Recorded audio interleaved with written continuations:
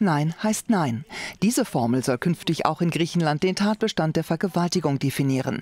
Eine entsprechende Gesetzesnovelle hat das Parlament in Athen verabschiedet. Vergewaltigung wird künftig als Sex ohne Einwilligung definiert. Die Regierung reagierte damit auf den starken Druck von Menschen- und Frauenrechtsorganisationen. Eine Kehrtwende und ein historischer Sieg für die Aktivistinnen vor dem Parlament.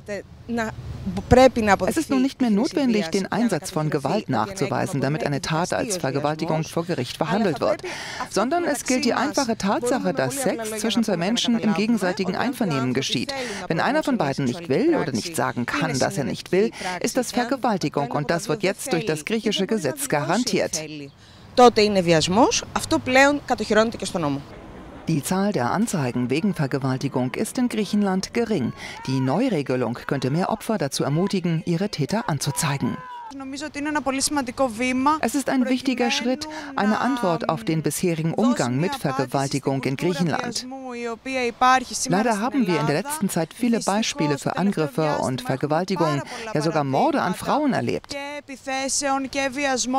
Die neue Definition bedeutet Gerechtigkeit für die Opfer und ein Sicherheitsnetz für uns alle.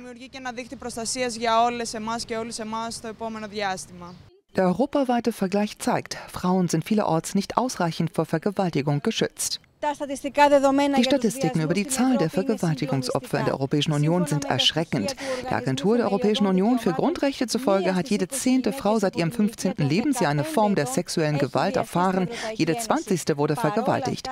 Aber immer noch erkennen die meisten europäischen Länder nicht an, dass Sex ohne Zustimmung Vergewaltigung ist. Φέη Δουλγέρη.